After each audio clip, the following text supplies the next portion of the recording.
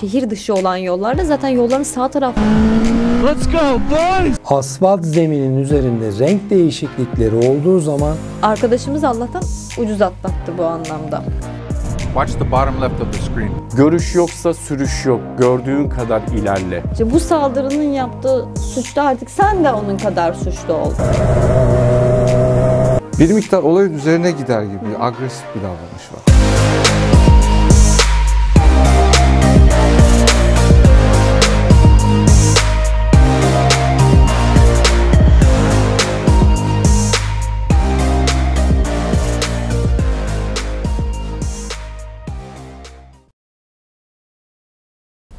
Kayıt. Yeni bir bölümde yeni kaza videolarıyla karşınızdayız. Sadun hocamızla beraber kazayı inceleyeceğiz. Gelsin mi video hocam? hadi gelsin bakalım izleyelim. Let's go, boys!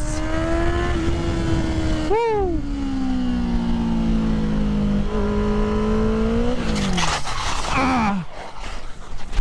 Ah! Ah! Boys!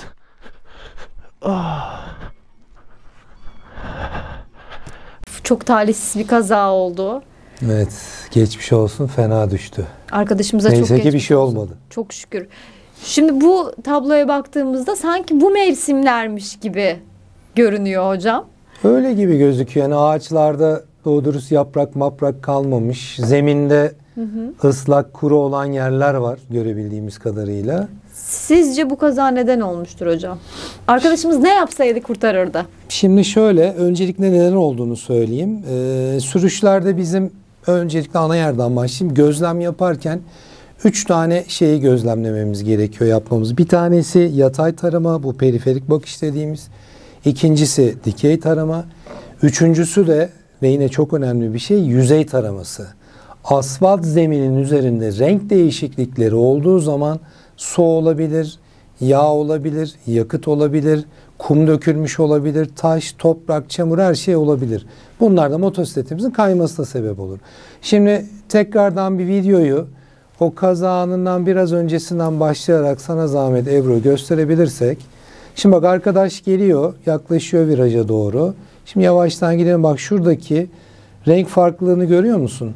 Bariz Orada belli. ıslaklık var bariz belli. Arkadaş oraya gelip yatırmaya başladıktan sonra kurudan ıslığa geçtiği için tutuşu kaybediyor.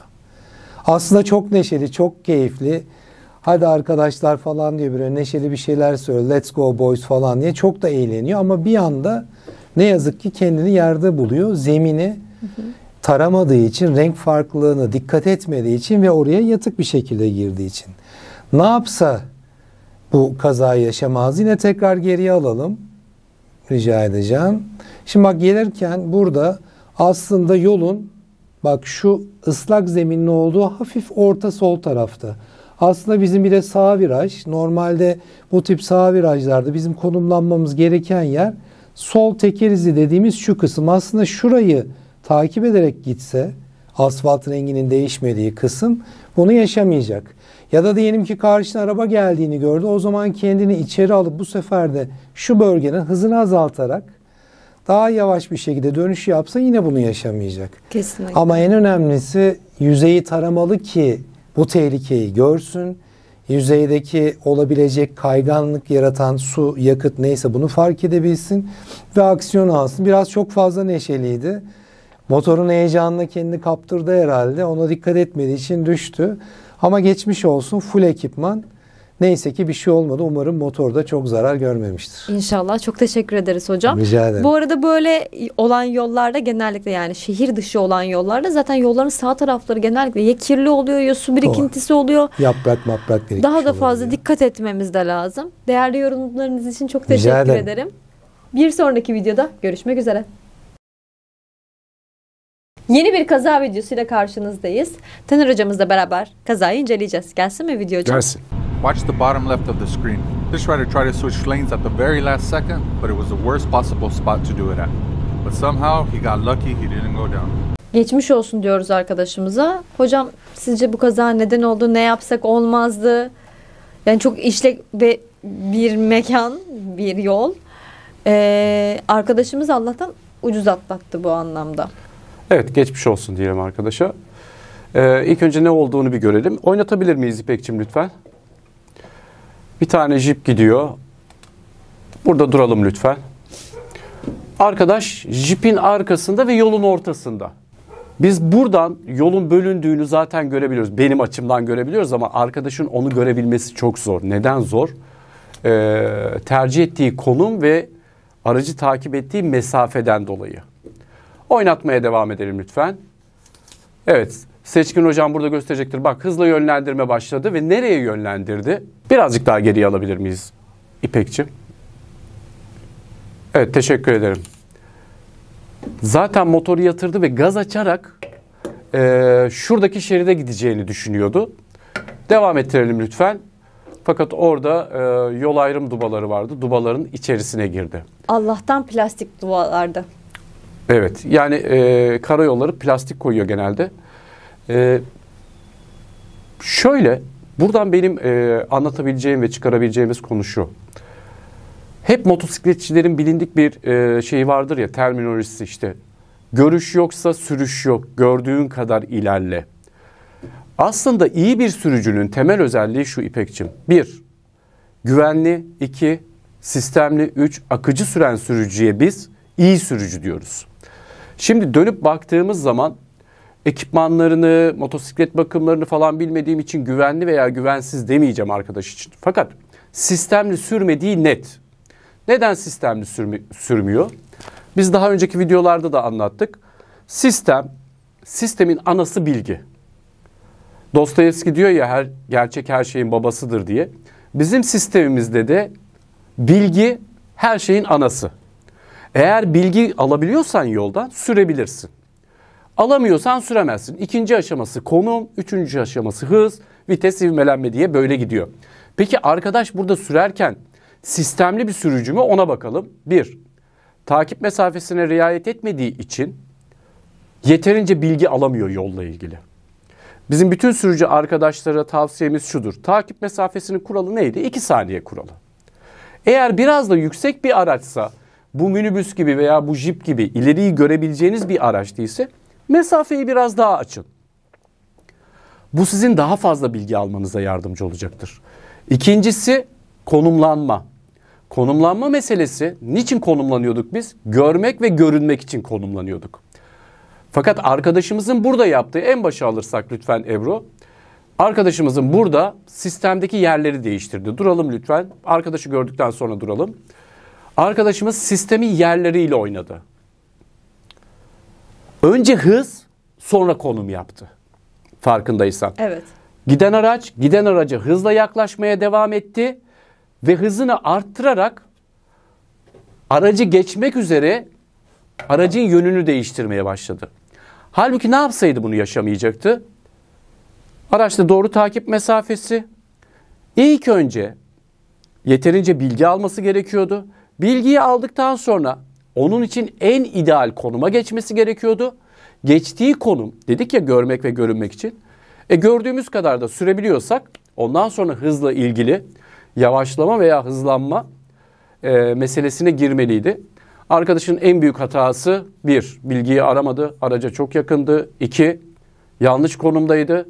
Hızla konumu yerini değiştirdi. Önce konumu düzgün bir yere çekmeliydi, bilgiyi almalıydı. Ondan sonra e, hızı tespit etmeliydi.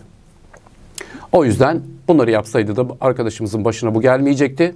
Geçmiş olsun diyorum ben de. Çok teşekkür ederiz değerli bilgileriniz için. Bir sonraki videoda görüşmek üzere. Yeni bir kaza videosuyla karşınızdayız. Zafer hocamızla beraber kazayı inceleyeceğiz. Gelsin mi video hocam? Lütfen.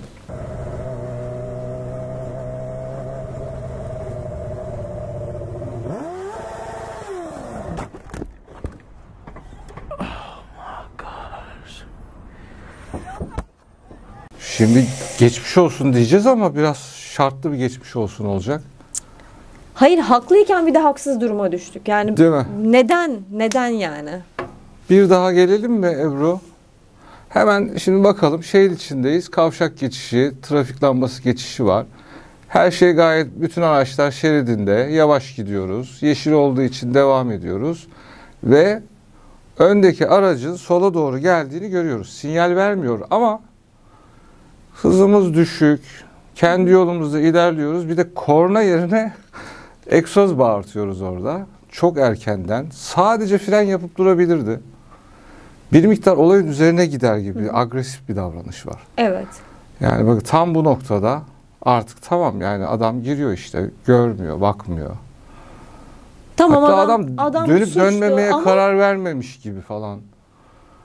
Ve biz şunu yaptık. Egzozu bağırttık. Yani adama bağırıyoruz orada. beni gör beni gör hayır evet, korna girme. da çalabiliriz dit diye. Evet. Yani sonra da devam ediyor saldırıya. İşte bu saldırının yaptığı suçta artık sen de onun kadar suçlu oldun. İşte Yani ondan sonra motorcular serseri, motorcular falan. Hiç böyle bir davranışa gerek yok yani. Gördük zaten erkenden de gördük yani. eğer ki burada biraz daha hani hızlı çarpmış olsaydı bu arkadaşımız daha da çok zarar. Yani motosikleti zarar gördü o başka. Ama kendisi de zarar görebilirdi. Ama e, tamamen onun elindeydi. Kesinlikle öyle. Motosiklet Tamam kullanan araba hatalı onun şeridine dönüş yapıyor ama her şey bariz. Çok önceden gördük. Vaktimiz var, fırsatımız var, durabiliriz. Bu zaten çok trafikte karşılaştığımız olaylardan bir tanesi aslında. Birçok arkadaşımız, kardeşimiz egzoz sesinden karşı taraf beni zaten görür ki diyor. Ama öyle olmuyor. Adam sana baka baka gözünün içine baka Evet. baka devam ediyor. Bir de Evet, sana da olabilir. kilitleniyor. Evet, olabilir. Evet. Bunlar işte ses yaptım, selektör çaktım falan Ben değil. haklıyım. Yani ben haklıyım değil. Haklı olma. Haklı evet haklısın sensin tamam ama sen hayatta kal, Zararı zarar gören- olmasın. Bir de zaten ekonomi belli yani hani şey anlamında. Motosikletler de motosiklet tamir ettirmek de çok pahalı. Yatsa 3 ay bizim bizim zaten, Zaten- şeyimize 3 ay yatar o motor şimdi. tamir Bu olayda bir de diye. şunu da eklemek lazım. Ya tamam biz motorcuyuz. Bu da bizim bir motorcu arkadaşımız ama sadece kendisi zarar görmüyor. Motorcular da zarar görüyor. Tabii ki. Çünkü bu bir e, sürücü tipini de bize gösteriyor. Tabii ki. Yani agresif davranışlı sürücü agresif bir şekilde motor sürüyor. Agresif tavırlarla karşı çıkıyor. Yargılayıcı oluyor etrafına. Kesinlikle. Şimdi yan taraftaki sürüş yapanlar ve arabanın içindeki işte bu motorcular da böyle falan diyordur. Tabii öyle düşünecek. Başka ne düşünecek?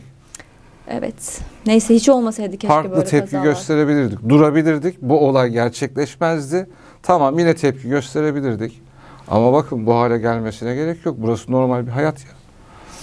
Ya o da herhalde şok olmuştur ondan sonra. Büyük ihtimal. Belki de o sırada bir sorun yaşıyor sürücü. Belki de bir şaşkınlık içinde. Bilemiyorsunuz yani. Bu direkt kararı verdi ve cezalandırdı yani. Ama kendisi de zarar gördü. Evet. Benim diyeceklerim bunlar. Böyle bir olay gerçekleşmeyebilirdi. Teşekkür ederiz değerli yorumlarınız için. Bir sonraki videoda görüşmek üzere. Merhabalar. Bu hafta size yine tabelalardan bahsediyor olacağız. İlk olarak yaya geçidi levhasından bahsetmek istiyorum. Bunun bir kırmızı üçgen olan uyarı levhası var.